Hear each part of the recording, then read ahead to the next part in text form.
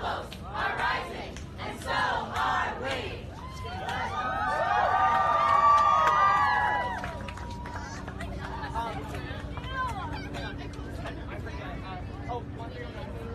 Alicia Harley needs to